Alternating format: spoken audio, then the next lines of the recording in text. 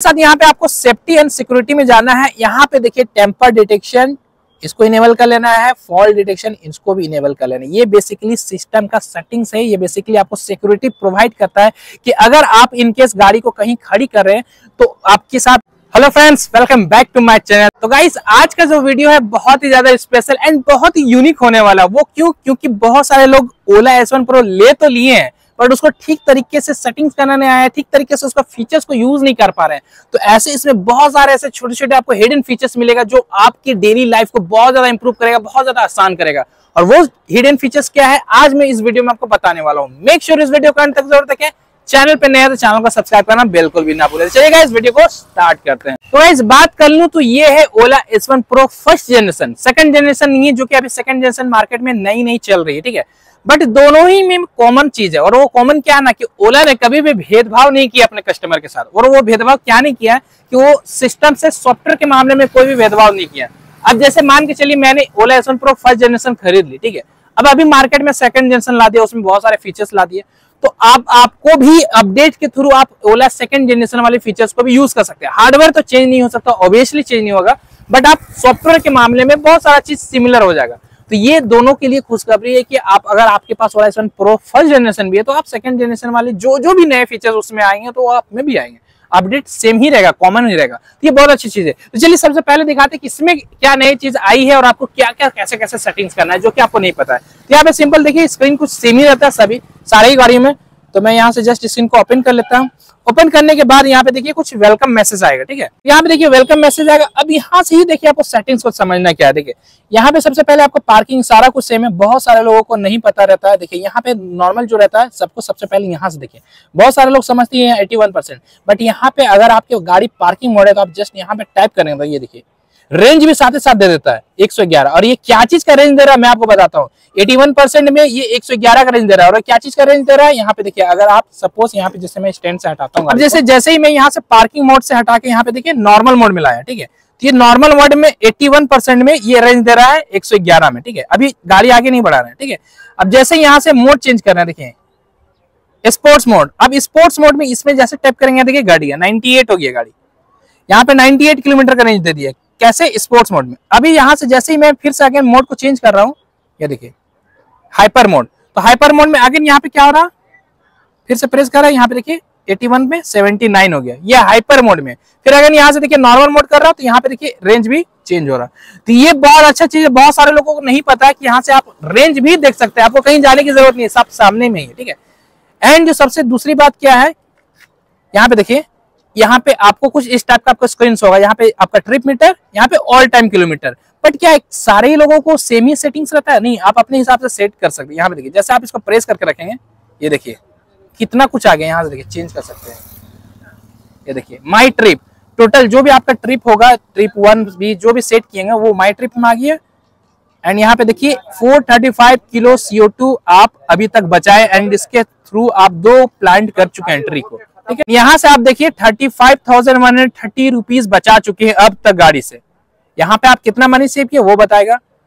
And यहाँ पे देखिए पावर कितना गाड़ी पावर निकाला। जैसे देखिए, मैं सपोज़ यहाँ पे गाड़ी को यहाँ पे देखिए, मैं स्टार्ट कर रहा हूँ, ठीक है? तो यहाँ पे जैसे मैं आगे बढ़ाऊँगा, देखिए, यहाँ पे देखिए पावर भी बढ़ते जा रहा है। कितना पावर निकाल रही है। उसी तरह से यहाँ पे आप क्या कर सकते हैं? फिर अगेन मैं प्रेस करके रखा यहाँ से देखिए टॉर्क भी आ सकता है। आप देखिए ये है टॉर्क टॉर्क क्या है कि गाड़ी कितने हिसाब से खींच रही है उसमें भी आ जाए। जैसे एक्सलेटर लेंगे देखिए टॉर्क बढ़ रहा है नैनोमीटर पर। तो ये सारा चीज़ सेटिंग्स आप कर सकते हैं। और ये सिर्फ़ सेटिंग्स इधर ही नहीं कर सकते। अभी देखिए सपोज़ यहाँ पे जो सबसे पहला वाला सेटिंग्स था देखिए ये वाला ये वाला माई ट्रिप तो अब आप इसको ज़ीरो कर सकते हैं। इसको प्रेस करके गाइस यहाँ से आप जैसे ही माई ट्रिप देख रहे हैं यहाँ पे जैसे डबल टैप करेंगे तो यहाँ पे देखिए रिसेट माई ट्रिप यहाँ से आप रिसेट भी कर सकते हैं ज़ीरो कर सकते हैं देखिए ज़ीरो हो गया। अब आप जितने किलोमीटर चलाएँगे आपका ट्रिप आ जाएगा। होता क्या था ना कि जैसे आप ये वाला सेटिंग्स को ऑन रखते थे ये वाला तो जितना बार गाड़ी को बंद करते थे, ये ज़ीरो हो जाता था। बहुत सारे लोग इसमें कंफ्यूज रहते थे कि, सर, मुझे ट्रिप मीटर ठीक तरीके से इस गाड़ी में नहीं पता चलता है। कैसे ट्रिप करें? मुझे कहीं जाना रहता है। जैसे गाड़ी भूल गए देखना तो फिर से ज़ीरो हो गया। अब मुझे पता ही नहीं चला मैंने कितना चला का है। तो ऐसा कुछ नहीं है। सारा डेटा सेट रहता है। अगर आपको चाहिए तो आप ये वाला को हटा सकते हैं एंड इसको जस्ट ऊपर कर लीजिए। यहाँ पे ट्रिप आपका होगा। ये ट्रिप ज़ीरो नहीं होगा। ये वाला ट्रिप ज़ीरो हो जाएगा। देखिए, ये वाला दिस ट्रिप यहाँ पे लिख के आ रहा दिस ट्रिप बट ये वाला ट्रिप माई ट्रिप ये ज़ीरो नहीं आएगा जब तक आप ज़ीरो नहीं करेंगे। इससे पहले आप देखा कितना किलोमीटर चला हुआ था, तब जाके मैंने ज़ीरो किया। तो अगर आप चाहे तो ये वाला सेटिंग्स को यहाँ पे छोड़ देंगे तो ये ऑन रहेगा। अब ये हिलेगा नहीं एंड साथ ही साथ आप यहाँ पे भी कर सकते हैं। ये देखिए, अगर इसको आप प्रेस करके रखेंगे, ये देखिए, यहाँ पे। तो इसको भी आप चेंज करते हैं यहाँ पे टर्न ऑन म्यूज़िक कंट्रोल यहाँ पे म्यूज़िक के लिए। लेकिन अगर म्यूज़िक नहीं चाहिए, ये देखिए यहाँ पे चाहिए तो डिस्क ऑल टाइम करके रख सकते हैं।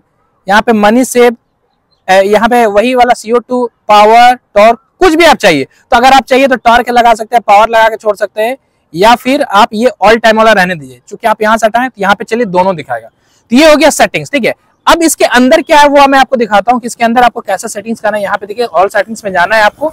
उसके बाद आपको यहाँ पे देखिए लाइट में जाना है। लाइट में जाने के बाद आप यहाँ पे देखिए सेफ्टी लाइट्स का भी है, जिस तरह से हज़ार लाइट ऑन कर सकते हैं। यहाँ पे देखिए यहाँ पे देखिए टेक मी होम लाइट इसको आपको एनेबल कर लेना है। ये क्या है, मैं आपको बताता हूँ, बहुत सारे लोग गाड़ी को खड़ी कर करके पार्क कर देते हैं गाड़ी को, ठीक है? एंड उसके बाद घर जाते हैं तो वहाँ पे आपको जाने में रास्ता सपोज़ अंधेरा हो पार्किंग से निकलने में दिक्कत हो तो यहाँ पे आप ऑन करेंगे ना तो गाड़ी को अगर आप पार्क करके लॉक भी कर देंगे तो थर्टी सेकंड तक स्कूटर का जो हेडलाइट है, वो जलता रहेगा ग्लो रहेगा, ताकि आपको विजिबिलिटी मिले, आप उतने देर में निकल सकते हैं पार्किंग सेक्शन से। तो ये बहुत अच्छी चीज़ है। एंड यहाँ पे होलो लैम्प का मतलब है कि आप डीआरएल ऑन कर सकते हैं, यहाँ से टेम्पोरी ऑन हो जाएगा परमानेंट भी ऑन कर सकते हैं तो ये आपके ऊपर है। बट ये वाला ऑन कर लेंगे तो बहुत अच्छा है। सेकंड यहाँ पे देखिए जस्ट स्क्रॉल करेंगे तो ऑटो टर्न ऑफ़ इंडिकेटर यहाँ पे है ऑटोमेटिक टर्न ऑफ़ इसको भी आप इनेबल कर लिए होगा क्या ना कि अगर सपोज़ आप राइट वाले इंडिकेटर प्ले ऑन किए हैं ठीक है? उसके बाद जैसे स्टेयरिंग को सीधा करेंगे हैंडल को बाहर को सीधा करेंगे तो ऑटोमेटिक जो है आपका इंडिकेटर वो ऑफ़ हो जाए चाहे आप किस साइड भी करें। तो ये भी बहुत अच्छा ये बेसिकली कार का फीचर आता है बट ये फीचर्स आपको ओला ने प्रोवाइड किया था। ये बहुत अच्छी चीज़ है इसको भी हमेशा ऑन कर ले तो आपको बार बार जो टर्न ऑफ़ टर्न ऑन करने एक बार टर्न ऑन किया इंडिकेटर बाद में ऑटोमेटिक ये टर्न ऑफ़ कर देगा। तो बहुत अच्छा चीज़ है इसको भी आप इसको एनेबल कर ले ठीक है? अगर आप यहाँ पे आ जाइए राइडिंग में तो राइडिंग में जैसे रीजनरेटिव ब्रेकिंग वगैरह है तो आप इसको ऑन कर लीजिएगा। लो ही रहने दीजिएगा या फिर डिफ़ॉल्ट में कर लीजिएगा तो ज़्यादा बेहतर रहेगा, आपको कुछ ना कुछ बैटरी सेफ़ रहेगा। तो ये आपके ऊपर चॉइस है। ये मेन चॉइस है। हिल होल्ड एसिस्ट इसको आपको इनेबल कर लेना। अभी हिल होल्ड एसिस्ट इनेबल करने के बाद अगर आपका गाड़ी जहाँ पे स्लोप एरिया वहाँ पे ढुलक रही है तो ये ऑटोमेटिक जो है गाड़ी को रोक के रखेगी या फिर हिल में कहीं पे पहाड़ी एरिया में चढ़ रहे हैं, वहाँ से ढुलक रही है रिवर्स आ रही है तो भी ये हेल्प करेगा, आपको ब्रेकिंग लगा कर रखेगा, गाड़ी को पीछे और आगे नहीं जाने देगा। तो ये बहुत अच्छी चीज़ है, ये खास कर तब कम आता है जब अगर आपकी गाड़ी में लोड रहेगा।